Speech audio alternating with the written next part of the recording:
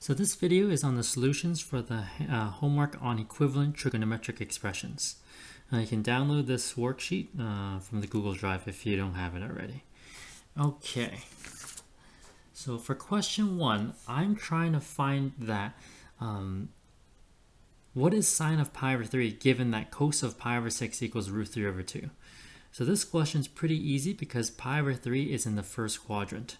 So find the complementary angle to pi over 3 and that allows you to go from sine to cosine and bam, root 3 over 2. Uh, cotan of 5 pi over 6, what does that equal to given that tan of pi over 3 equals root 3? So there are two ways to approach this question. You can take 5 pi over 6, push it to the first quadrant, because right now it's in the second quadrant, push it to the first, and then take the complementary angle. And that will allow you to go from cotan to tan. But the way I did it was I chose to find the angle uh, between the terminal arm and the y-axis. If the angle of 5 pi over 6 is in the second quadrant, I'm trying to find what's the angle between the y-axis and the terminal arm. If you do the math, uh, you take pi over 6 and subtract by pi over 2, you get pi over 3, which is perfect. So this is saying pi over 2 plus pi over 3, which means that the angle between the terminal arm and the y-axis is pi over 3. Thus, I can just switch it quite simply from cotan to tan because the reference angle is complementary to pi over 3, which means it goes from cotan to tan of pi over 3. And I put a negative because that angle is in the second quadrant where cotan is negative. So then I'm done the question because I know what tan of pi over 3 is. So for 3a, I am given sine of 2 pi over 7. So what is cos of 3 pi over 14? So 3 pi over 14 is in the first quadrant. So uh, quite simply find the complementary angle and you're done.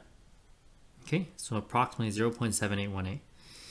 Uh, cos 11 pi over 14, same question essentially. You're given cosine of 2 pi over 7. So what is cosine of 11 pi over 14?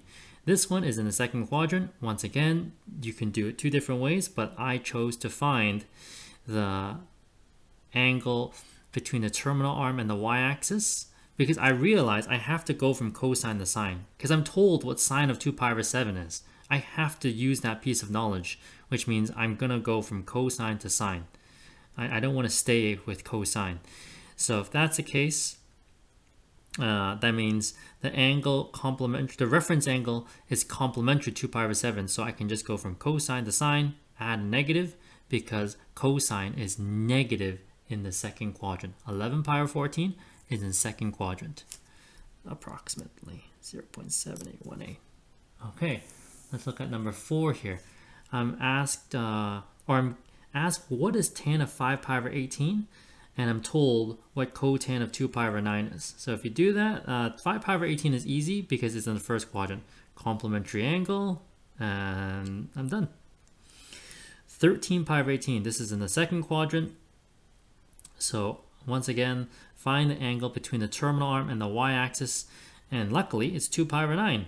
So that means I can switch it to cotan of 2 pi over 9 uh, negative because tan is negative in the second quadrant.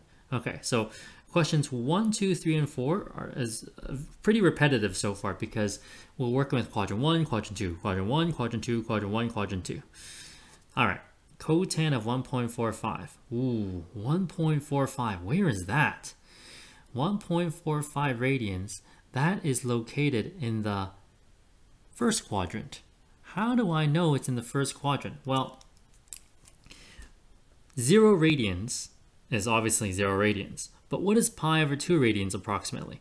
Pi over 2 is approximately 1.57 radians. So 1.45 is between 0 and 1.57. Let's write that down. So this is 0, and then pi over 2 is approximately 1.57. So 1.45 is somewhere in the first quadrant. Okay, and pi is obviously 3.14. And if you want, you can punch in your calculator, 3 pi over 2, and you can find out what that is approximately in radians. That's 4.71 approximately. So if I said the angle is 6 radians, that means we're in the fourth quadrant because it's between 4.71 and 2 pi is 6.28 approximately. Okay, so, okay. I am given tan of 0.12 and they ask me what's cotan of 1.45. Find the angle complementary to, oh sorry, in this question they're asking me to solve for uh, an angle in quadrant 1 that's tan. So tan of an angle in quadrant 1 is equal to cotan of 1.45. So just take the complementary angle and then we're done. So A is approximately 0.12. They asked me to round it to two decimal places. Okay, so for number six, let's see. They say cos x equals sine of 0.79, but this time x is in the second quadrant. No problem. Okay, so I use identity that pushes the first quadrant to the second quadrant, and uh, that also allows me to switch to the complementary trig function. So since you want to switch to the complementary trig function and you want the angle to be in second quadrant, you want pi over 2 plus 0.79. You want the angle uh, between the terminal arm and the y-axis to be 0.79. And your angle is approximately 2.36. Number 7, cos of 4 pi over 9. Oh, number 7 is a funny question. They said that the cosine key on the calculator is not working. So to figure out cosine 4 pi over 9, we're going to have to switch cosine to an equivalent trig expression of sine. Uh, so 4 pi over 9 is in the first quadrant, so find the complementary angle and you're done. Okay, number 8. Uh, number 8 is pretty straightforward because uh, it's cosine, and they're not changing it to the complementary trig function. It's cosine sticking with cosine. So cosine of 13 pi over 14, what does that equal to given the knowledge of cos of pi over 14? So you don't need to switch it to sine, just find the reference angle. And guess what? The reference angle of 13 pi over 14 is pi over 14. Of course it is, because that's what they told us. Right? If I didn't know what pi, cos of pi over 14 is, I cannot do this question. Uh, be careful, negative in the second quadrant, so it's negative 0.9749. Uh, 8b is same thing, find the reference angle, but 15 pi over 14 is in the third quadrant. So you still get negative 0.9749.